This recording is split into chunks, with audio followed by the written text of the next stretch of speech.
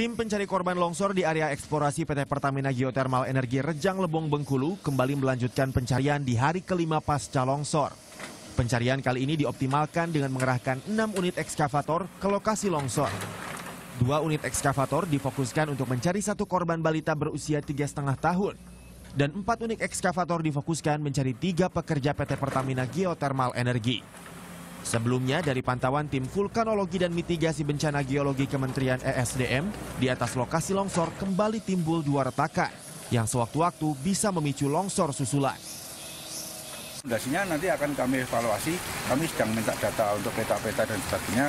Tadi saya di atas uh, untuk peta-peta dan foto-foto uh, satelit, foto-foto itu akan kami analisis.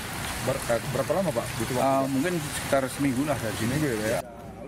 Tim Kementerian ESDM juga merekomendasikan untuk penyelamatan sumur geotermal di lokasi longsor. Longsor terjadi di area eksplorasi PT Pertamina Geothermal Energi Kamis lalu.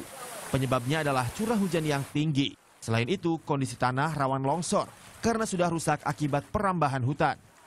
Pemerintah Kabupaten Rejang Lebong segera merelokasi warga yang tinggal di daerah ini. Total korban tewas longsor dua orang.